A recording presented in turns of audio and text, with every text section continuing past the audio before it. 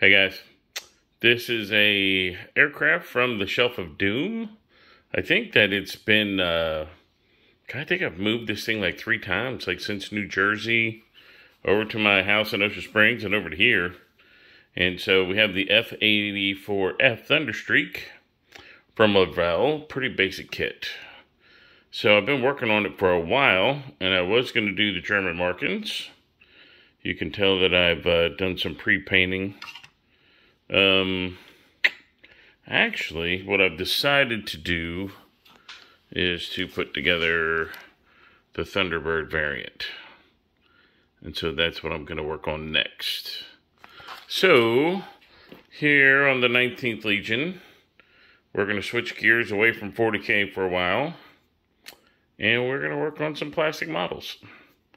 So this little commercial, this little brief uh, video is just letting you know what's coming up.